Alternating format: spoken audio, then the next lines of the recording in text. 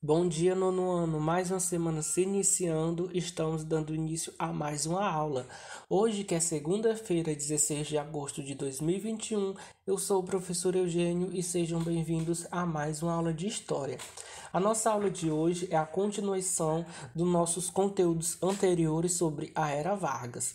Na aula passada, nós vimos sobre o governo constitucional e também sobre os integralistas, os aliancistas e também sobre a rebelião comunista. A nossa aula de hoje vai ser sobre o governo ditatorial, o Estado Novo. Vamos lá para mais uma aula? Governo ditatorial, o Estado Novo. De acordo com a Constituição Federal de 1934, o mandato de Vargas terminaria em 1938, sendo proibida sua reeleição imediata. Ou seja, a partir dali ele já estava proibido de concorrer à reeleição. Aproximando-se a data das eleições, teve início a campanha eleitoral. Porém, Vargas e seu corpo não queriam deixar o poder, assim como outros também não querem. Então, eles preparavam um golpe de Estado para se manter na presidência. Em setembro de 1937, o Serviço Secreto do Exército divulgou uma notícia falsa. Diziam que tinham descoberto um plano comunista chamado de Plano Cohen, cuja intenção era destruir o regime democrático. Era tudo uma farsa tramada pelo próprio governo com o apoio dos integralistas. A ameaça do perigo comunista foi usada como desculpa para que o governo decretasse estado de guerra e mandasse prender os seus adversários. Em 10 de novembro daquele ano, o Congresso Nacional foi fechado e impôs uma nova Constituição para o país, revogando-se a de 1934. Começava a ditadura do Estado Novo. Nessa ditadura, como vocês já devem ter ouvido falar, que ditadura não foi um período fácil, o governo concentrou amplos poderes.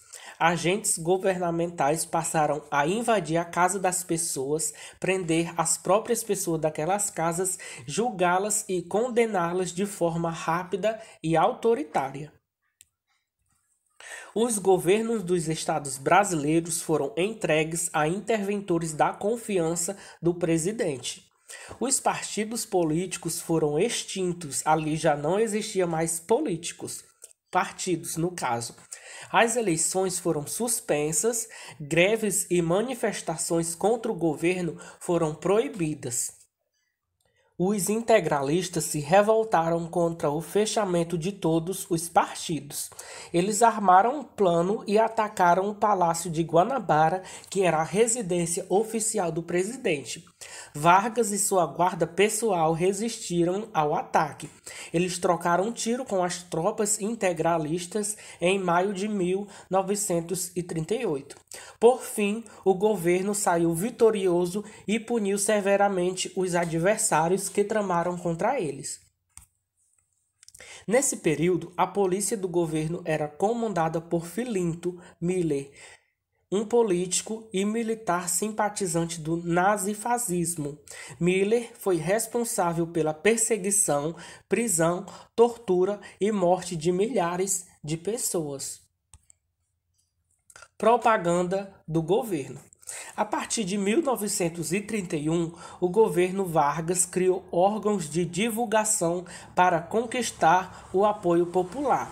O mais importante foi o Departamento de Imprensa e Propaganda, conhecido como DIP. A publicidade do governo era feita pelo DIP, que ainda promovia as homenagens a Getúlio Vargas. Foi o caso do livro Uma Grande Data, publicada pelo órgão em 1941 para comemorar o aniversário de Vargas. Além de exaltar a imagem de Vargas como o pai dos pobres ou salvador da pátria, o DIP também restringiu a liberdade de pensamento e expressão dos cidadãos até o final do Estado Novo. O departamento censurava livro livros, músicas, filmes, peças teatrais, jornais e até estações de rádio. Atentos à importância do rádio, que se tornará poderosa meio de comunicação, os membros dos DIP criaram o programa Hora do Brasil, que as rádios de todo o país eram obrigados a transmitir. Nesse programa, o governo divulgava suas realizações, nunca erros e fracassos. O governo só divulgava algo para se beneficiar. Os erros e fracassos que o governo cometia, eles não divulgavam para a população. A hora do Brasil também foi chamado de hora da desliga ou fala sozinho, já que muita gente desligava seus aparelhos no horário das transmissões para não ouvir as tais notícias beneficiando o governo. Bom, gente, esse foi o nosso conteúdo de hoje. Espero que vocês tenham entendido alguma coisa. Agora vamos para o WhatsApp fazer nossa atividade do dia.